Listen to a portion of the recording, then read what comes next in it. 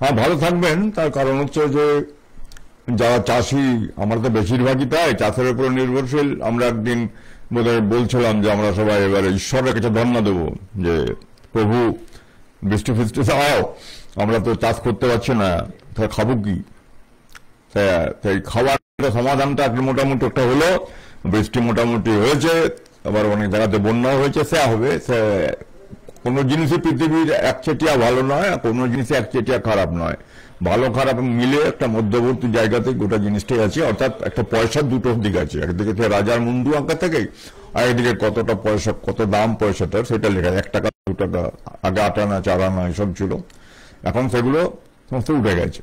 তো এই যে আমাদের এই ইয়েটা, বৃষ্টির ইয়েটা, ভালো, মন্দ দুটো দিক যেহেতু আছে, অতএব আমরা ভালোটাকে এখন ধরে নেব। মন্দ কথা বলতে আমরা এখানে আসিনি, নিছক আড্ডাতে মন্দ কথা বলার জায়গা নয়। তা আমরা সেদিন শুরু করেছিলাম, কিন্তু আমাদের কিছু যান্ত্রিক গোলযোগ হয়ে গেল, তার জন্য আমরা বলতে পারলাম না। আমরা একটা খুব কঠিন জায়গাতে সেদিন ঢুকতে চাইছিলাম সেটা হচ্ছে যে দাম্পত্য জীবন।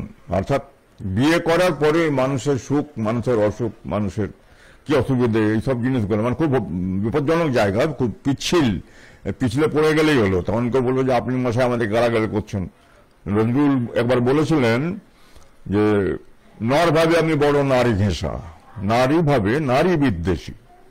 তো, এই যে আমি কথা যেগুলো বলব, সেগুলো হয়তো নারীরা যেখানে কিছু বিপক্ষে যাবে, তো নারীরা ভাববে যে, আমি নারীকে গালাগালি করছি। আবার পুরুষকে যখন তোল্লাই দেবো, তখন পুরুষরা বলব, আমাদেরকে তোল্লাই দিচ্ছে নারীদেরকে করছে। আবার পুরুষকে যখন ধরবো, তখন পুরুষরা বলবে, আমরা পুরুষ হয়েও পুরুষকে গালাগালি করছে। তো এই বিপজ্জনক জায়গাতে যাওয়ার আগে তার জন্য আগে মার্জনা চেয়ে নিচ্ছি।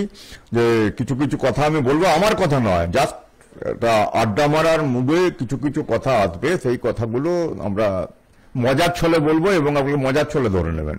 এগুলোকে কিন্তু খুব গভীরভাবে বিশ্লেষণ করতে যাবেন না যে আমি বলেছি, অতএব এগুলো ঠিক, এগুলো তা নয় ব্যাপারটা। তো আমরা সেদিন গল্প একটা শুরু করেছিলাম, একটা বিষাদের গল্প বলব বলেছিলাম। বিষাদ। বিষাদের গল্পটা কি? তারাশঙ্কর বন্দ্যোপাধ্যায়ের তারিণী মাঝি, গল্পটার নাম। আমি শুরুতেই মানে ভোজবাড়িতে দেখেছেন তো আগে ওই শুক্তো, টুক্তো, নিম, শাক, এইসব দিয়ে খাওয়াটা শুরু হয়, আর মিষ্টান্নটা শেষে আসে। তো আমরা সেই মিষ্টান্নটা শেষেই যাব, আমরা আগে শুক্তোটা দিয়ে শুরু করি। সেটা হচ্ছে যে, গল্পটা কিন্তু অসাধারণ, এবং এটা আত্মোপলব্ধির গল্প। গল্পটা হচ্ছে তারিণী মাঝি, ময়ূরাক্ষী নদীর ধারে একটা গ্রাম, বীরভূমে। তার এক পাশে নদী মাঝে বয়ে যাচ্ছে আর সেই সেই গায়ে একজন মানুষ থাকেন তারিণী তার একটা নৌকো আছে, সে তার একটা চেলা আছে, কেলে, এবং তার বাড়িতে বউ আছে, সুখী। এই এই নিয়ে ওর ঘর সংসার, এবং বৃষ্টি হলে নদীতে যখন জল হয়, তখন সে নৌকো বায়, আর সে নৌকো বেয়ে সে রোজগার করে, তাতে সে দিব্যি কাটিয়ে যাচ্ছে। এই সে দিব্যি কাটিয়ে যাওয়ার মাঝে একবার কি হলো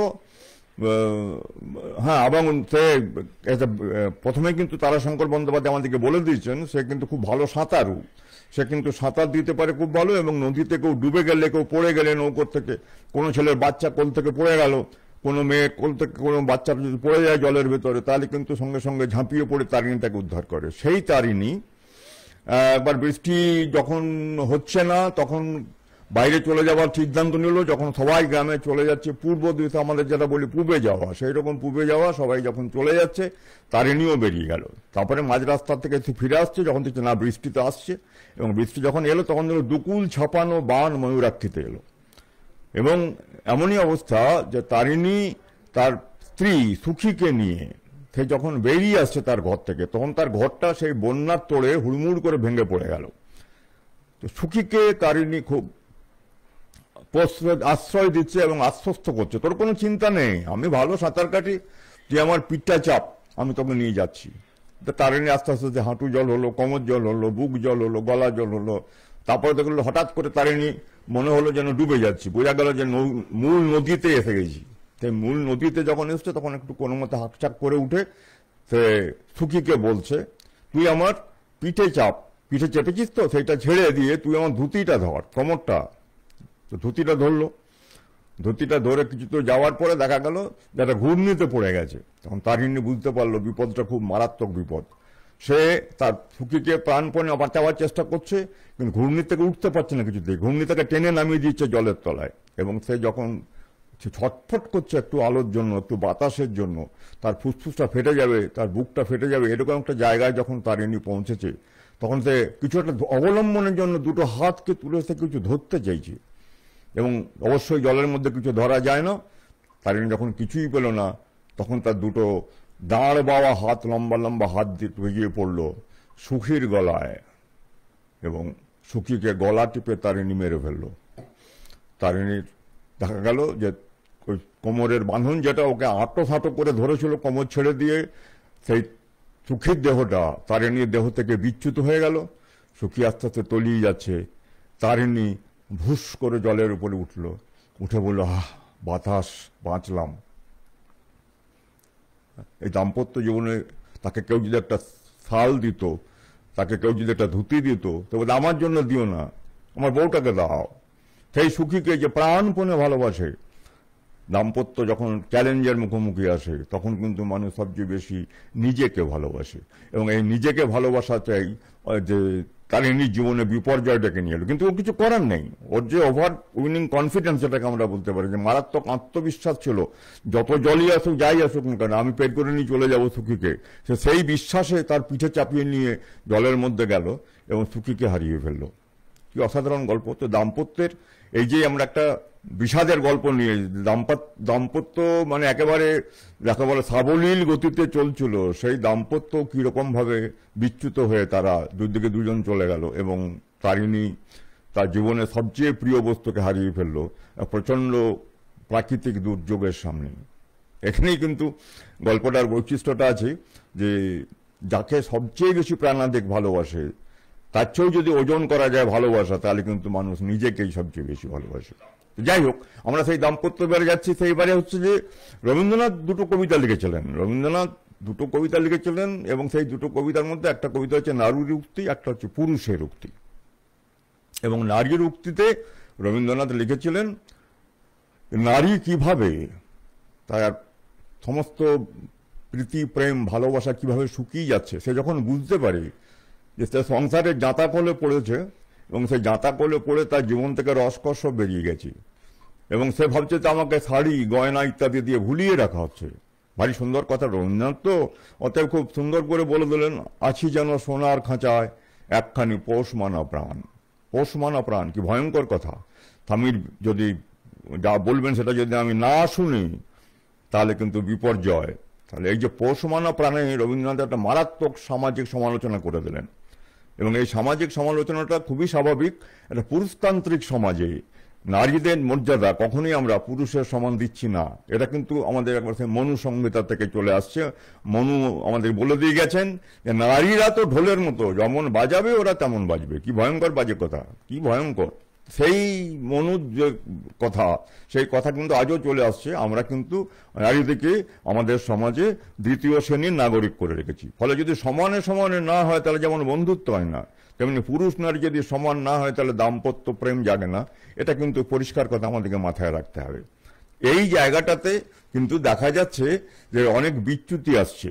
আপনারা একটু একটা কথা ভাবুন তো, মহিলারা বিশেষ করে ভাবুন তো, যখন ছাওড়া তলাতে বা ছাদনা তলাতে যখন মালা বদল হয়, যখন শুভদৃষ্টি হয়, তখন মেয়েকে পিঁড়িতে করে তুলে নিয়ে আসে স্বামী বরাবর করে দিয়ে মালা বদলটা হয় কেন?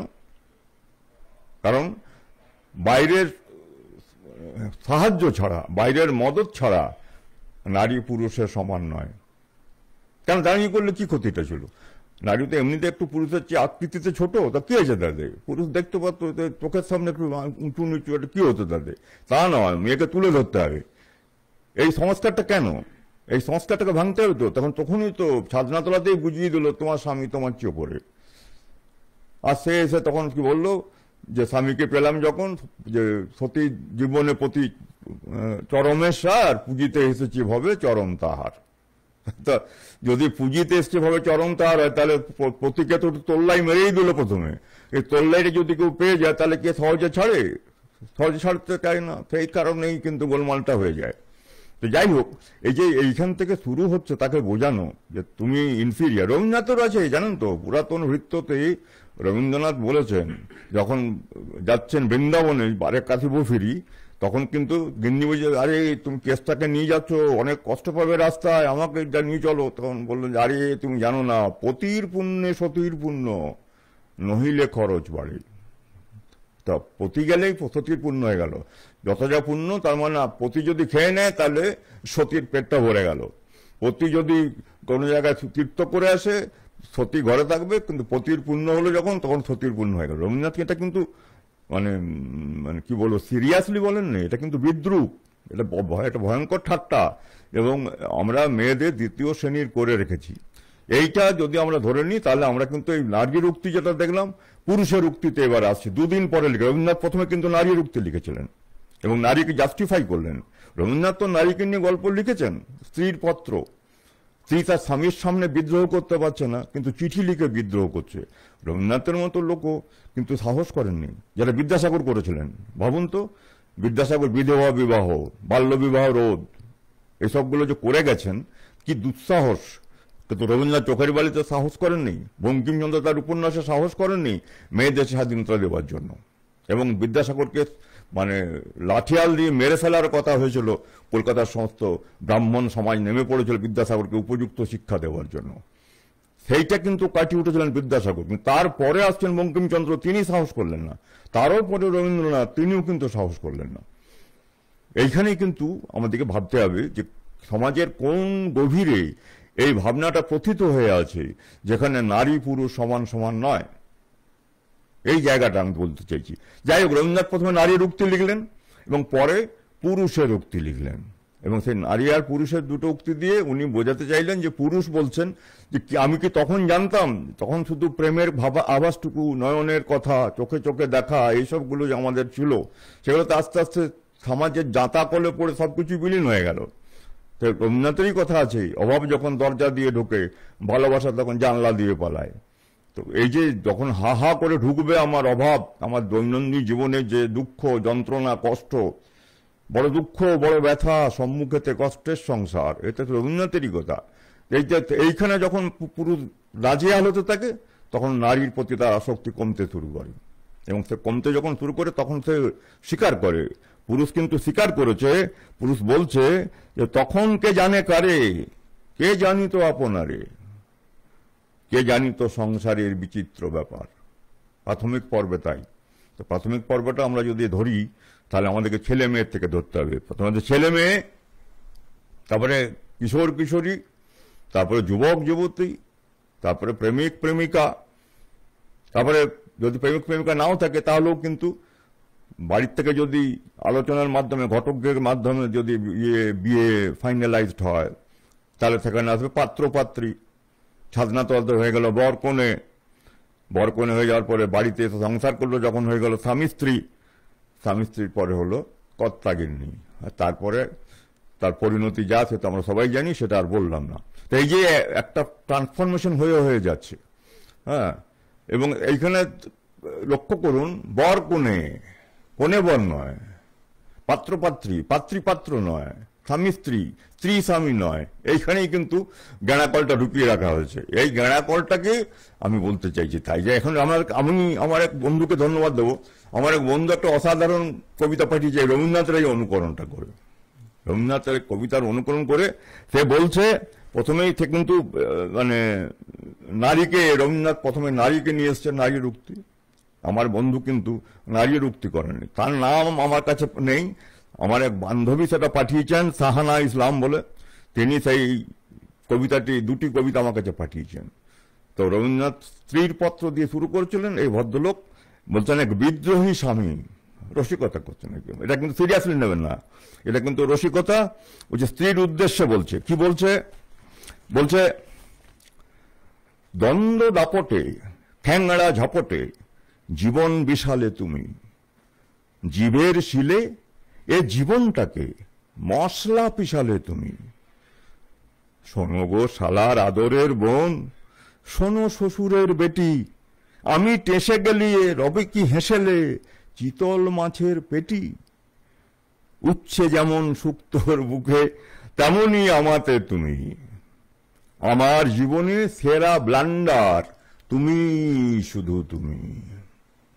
কি ভয়ঙ্কর, এবং এই যে শেষ চারটা লাইন সেটা ভাই সুন্দর একটা গানের কথা আমার মনে পড়ে গেল। কোন গানটা বলতে পারবেন?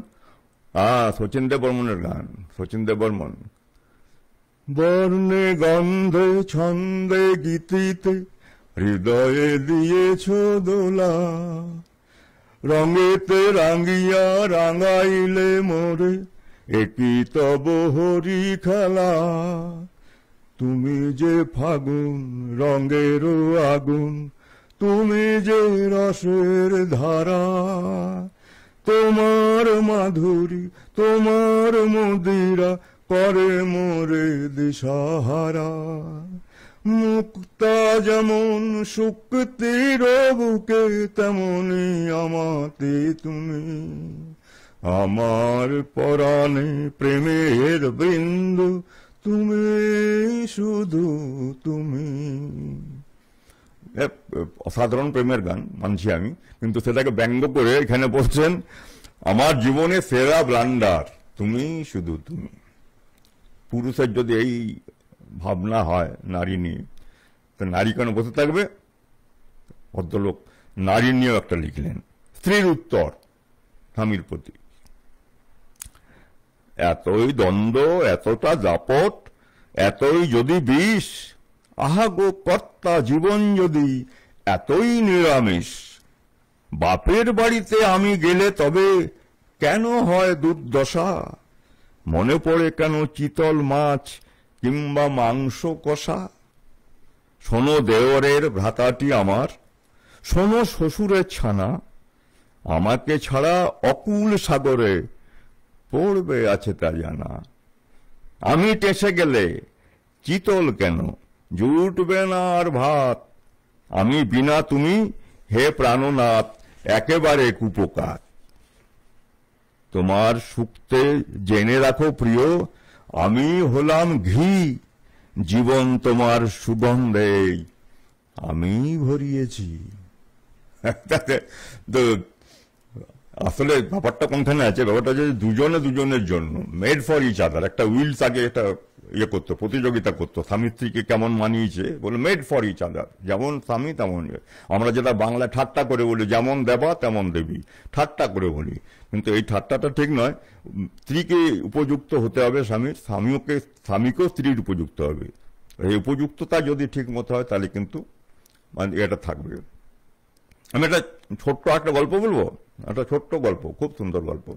সেটা হচ্ছে যে এক টিউশনিতে দুই ছাত্র এক ছাত্র আর এক ছাত্রী। তাদের দেখা এবং ছাত্রী বেশ সুন্দরী, ছাত্রটিও মোটামুটি সুন্দর।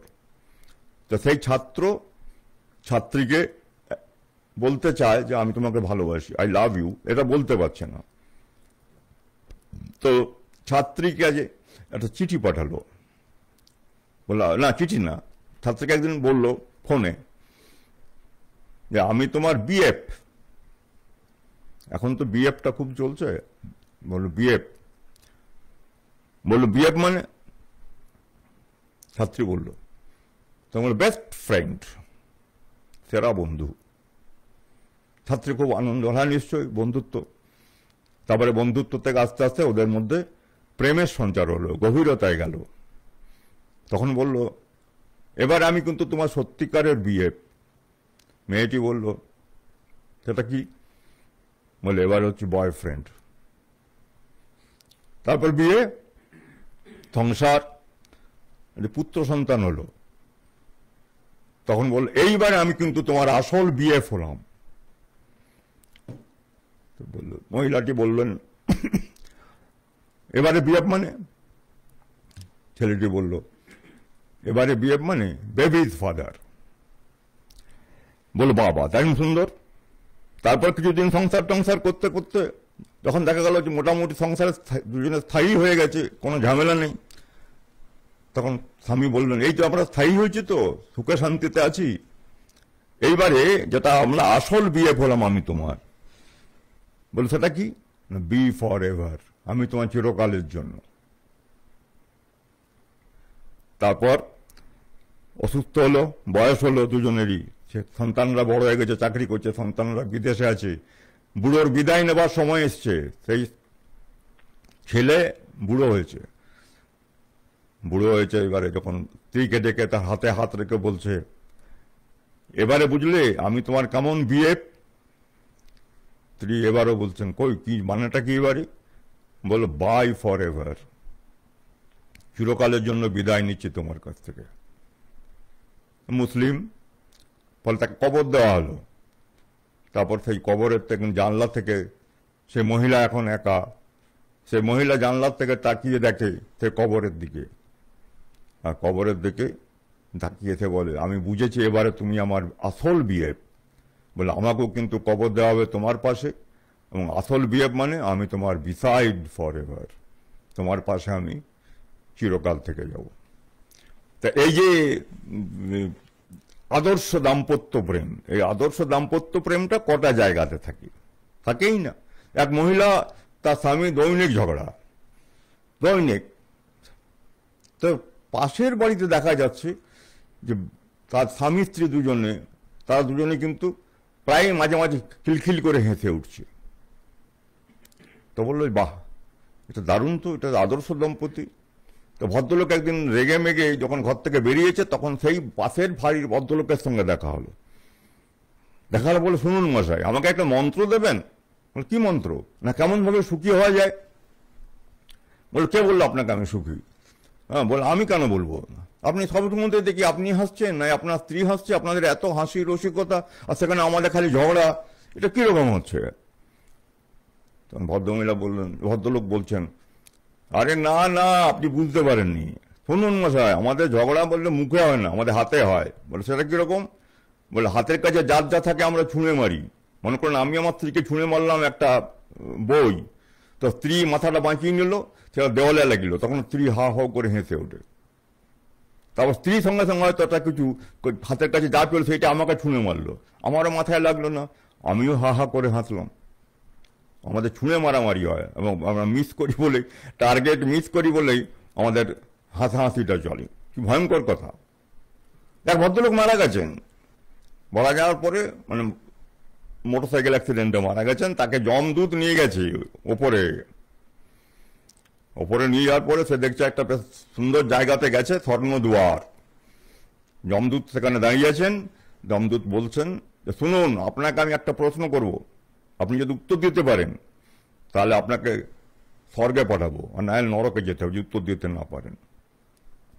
ভদ্রলোকের বুকটা গুড়গুড় করে উঠল নরকে যাব কোনো স্বর্গেই যাব বলে হ্যাঁ বলুন কি বানান জিজ্ঞেস করবেন। হ্যাঁ তো দেবদূত যমদূত খুব সহজ প্রশ্ন করল বলল বলুন তো লাভ বানান কি ইংরেজিতে? তো ভদ্রলোক বলল, "আ, লাভ এল ভি লাভ। বলে হ্যাঁ ঠিক আছে যান আপনি স্বর্গে। কিন্তু জানান আমাকে একটু আবার যমরাজ ডেকে পাঠিয়েছেন, আমাকে একটা মেসেজ এসছে, আমাকে একটু যেতে হবে যমরাজের কাছে, তা আপনি ততক্ষণ থাকুন। আর কেউ যদি আসে, তা আপনি এই প্রশ্নটাই করবেন যে, একটা বানান বলব, সেই বানানটা যদি ঠিক বলতে পারো, তাহলে স্বর্গ, আর যদি না পারো, তাহলে নরকে যেতে হবে। তো ভদ্রলোক দাঁড়িয়ে কিছুক্ষণ পর দেখছেন তার স্ত্রীকে দেখতে পাচ্ছেন। এ কি, তুমি? তুমি এলে কি করে এখানে? বলল যে, আরে বলো না তুমি তো মরে গেলে স্কুটার অ্যাক্সিডেন্ট করে। তারপর বিলাপ করতে করতে আমি যখন গেলাম, তখন আমাকে একটা ট্রাক আছে ধাক্কা দিয়ে মেরে ফেলল। আমিও মরে গেলাম। তুমি বাহ বাড়ি ভদ্রলোক মনে মনে ভাবছেন এর বেটি স্বর্গ পর্যন্ত তারা করেছে আমাকে। এবার তো স্বর্গে ঢুকতে দেওয়া যাবে না। তোমরা ঠিক আছে, এখানকার নিয়ম অনুযায়ী তোমাকে আমি বলছি, তোমাকে একটা বানান জিজ্ঞেস করব। তুমি যদি বানানটা বলতে পারো, তাহলে তোমার স্বর্গ। আর যদি না পারো, তাহলে নরক। ভদ্রমহিলা বললেন, বলুন, বলো। বলো কি বানান? তো বলছে, চেকোস্লোভাকিয়া বানানটা বলুন ইংরেজিতে। তাহলে অবশ্যই গল্পটার মরালটা হচ্ছে যে ভদ্রমহিলাকে নরকে যাওয়ার ব্যবস্থাটা করে দিলেন ভদ্রলোক। পাছে স্বর্গ জীবনটাও তার আবার নরক হয়ে যায়, তার জন্য তাকে নরক থেকে স্বর্গ কিছুতে আনতে রাজি হলেন না।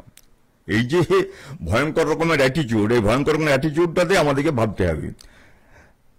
আমাদের একটা জিনিস মনে রাখতে হবে যে সুখের জন্য সবাই বলছেন, সুখ। সুখ চাই। ওরা সুখের লাগে চায় প্রেম প্রেম মেলে না, শুধু সুখ চলে যায় রবীন্দ্রনাথেরই গান। তার ভদ্রলোক বক্তৃতা দিয়ে বোঝাচ্ছেন যে, এই করবেন, ওই করবেন, এই করলে সুখ পাবেন, এই করলে জীবনে উত্তেজনাগুলো কমিয়ে দেবেন, রাগ ফাগগুলো কমিয়ে দেবেন, তাহলে দেখবেন জীবনে সুখী থাকবেন। তিনি যখন একটানা বেশ জোর বক্তৃতা করছেন, তখন একজন শ্রোতা উঠে বলল, প্রশ্ন করল, একটা প্রশ্ন করব? হ্যাঁ করুন। বলে, আপনি কি বিবাহিত? বলল, এরপর প্রশ্নের মানে? এটার সঙ্গে কি সম্পর্ক আজকের এই কথা বলে না, আমি জানতে চাইছি, আপনি যদি বিবাহিত হতেন, তাহলে সুখের কথা বলতেন না। সেটা তো সুখী, বিয়ে করে যেজন সুখী সেজন পুণ্যবান। কোথায় গান মনে পড়ছে? আরে অংশুমান রায়ের গান, বিখ্যাত। অংশুমান রায়ের গানে এটা পুরুলিয়া জেলার গান কিন্তু। এই পুরুলিয়া জেলার গানটাকে অংশমান একটু কাটছাট করে রাখা বলে পালিশ টালিশ করে নতুন ধরনের গানটা করেছেন এবং গানটা একটু মডার্ন সুরের মধ্যে হয়েছে। গানটা একটু শুনলেই আপনি বুঝতে পারবেন গানটা। এবং সেখানে কিন্তু মানে ক্যাটেগরিক্যাল বলে দেওয়া হচ্ছে যে, বিয়ে করো না, বিয়ে করলেই বিপদ। বিয়ে না করতে বলছে। তাহলে এই যাওয়ার আগে প্রথমে বলেছি যে আপনি আমার বলে ধরে নেবেন যে আমি আপনাকে বিয়ে করতে মানা করছি। তা নয়। গানটা কিন্তু দারুণ সুন্দর গান। গানটা শুনবেন, আমি জাস্ট একটা ধরে দিচ্ছি গানটা কেমন। হায় হায় সাত পাকে বাঁধা পড়ো না এক দুটা পাক কম থাকলে মন্দ হবে না। মাথায় টোপর পরার আগে ওজন করে দেখো, ওগো সোলার টুপি লোহার হবে সেটা মনে রেখো। হায় হায় সাত পাকে বাঁধা পড়ো না ছাদনা তলায় পাতায় আছে শিলার নোড়া। ওই নোড়াতেই ভাঙবে যেন তোমার দাঁতের গোড়া। গাঁট ছড়াতে বাঁধবে যাকে ছাদনা তলায় গিয়ে। ওগো যেন তোমায় ঘোরাবে সে নাকে দড়ি দিয়ে। হায় হায় সাত পাকে বাঁধা পড়ো না। আজকে যাচ্ছ বরের সাজে, গলায় মালা পরে। কত ধানে কত চাল বুঝবে দুদিন পরে। গোলাপে যে কাঁটায় আছে, তার কি আছে গন্ধ? বিয়ে করে কেউ বা সুখী, কারও কপাল মন্দ। লটারি তো সবাই কাটে যেতে ভাগ্যবান। ওগো বিয়ে করে যেজন সুখী সেজন পুণ্যবান।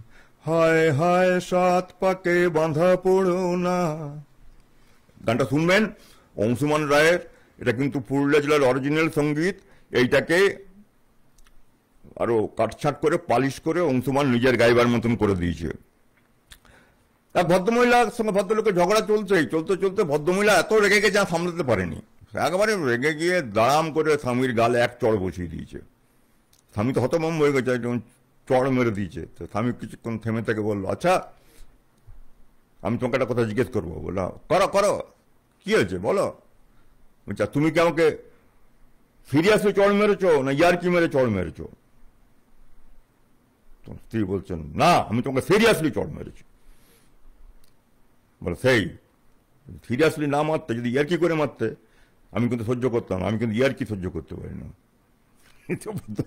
ভদ্রলোক ভদ্রলোক নিজেকে, যাকে বলে একবারে স্ত্রীর বশীভূত হয়ে থাকা। সে তো সে রাজার গল্প আছে না, যে রাজা মন্ত্রীকে বললেন, রাজা, অনেক রকম রাজার খেয়াল হয় তো? রাজার খেয়াল, খেপা শেয়াল আর ভাঙা দেয়াল। এই তিনটাকে কখনো বিশ্বাস করতে নেই তো কথাই আছে। তো সে রাজা মানে বড় লোকের খেয়াল আর কি। তো রাজা সে ঘোড়া কেনার গল্প আছে, ওটা একদিন পরে হবে। আজকে রাজার বিয়ের গল্পটা বলি। হ্যাঁ বলল যে, বউকে ভয় পায় না এমন লোক আমার রাজ্যে কটা আছে, মন্ত্রী লিস্টটা বানাও। যে তার বউকে ভয় পায় না। তো মন্ত্রী বলল, মশাই, এরকম করলে তো যাবে না। কি করে অত লিস্ট করা যাবে? তবে আমি মনে করি যে সবাই ভয় পায়। তবে যাই হোক, যখন আপনি বলছেন, তো অনেকটা জায়গা করছি। দিয়ে বলল, এক জায়গায় সবাইকে জড়ো করা হলো। সমস্ত গ্রামবাসীকে বলা হলো, তোমরা এসে দাঁড়াও। আর যারা স্ত্রীকে ভয় পাও, তারা এই পাশে দাঁড়াও বাম পাশে। আর যারা স্ত্রীকে ভয় পায় না, তারা ডান পাশে দাঁড়াও। দেখা গেল, যতগুলো লোক এসেছিল, ততগুলো লোক সবাই বাঁ পাশে দাঁড়াল। একটি মাত্র লোক দাঁড়িয়ে আছে যে স্ত্রীকে ভয় পায় না দলে আছে। হ্যাঁ, তো বলল যে আরে এই তুমি তো রিয়েল হিরো হেই রাজা বললেন। তুমি তোমার স্ত্রীকে ভয় পাও না কারণ তুমি তো আজকের যুগে সবচেয়ে বড় হিরো তো ভদ্রলোক তখন বলছেন শুনুন হিরো টিরো জানি না আমি। আমি যখন আসি তখন আমার স্ত্রী কান কামড়ে আমাকে বারবার বলে দিয়েছে যেদিকে ভিড় সেদিকে যাবে না। যেদিকে লোক থাকবে না, সেই দিকে যাবে। আমি সেই কারণে ওদিকে যাইনি। যাকে যাকে বীর বলে সন্দেহ করা হয়েছিল, সেই বীর কিন্তু একেবারে স্ত্রীর কথা শুনে নিজেকে গুটিয়ে রেখেছে। তো আজকে তো একটু কি হলো? স্ত্রীকে একটু আঘা- আঘাত করা হলো নাকি? না না, আঘাত করার কিছু নেই। আঘাত করা নেই, পরের দিনে স্বামীকে নিয়ে একটু আঘাত করা যাবে। স্বামীদের নিয়ে কীভাবে কি হতে যাচ্ছে? সবাই ভালো থাকবেন। আজকে আমার সময় শেষ। সবাই সুস্থ থাকুন ভালো থাকুন। নমস্কার।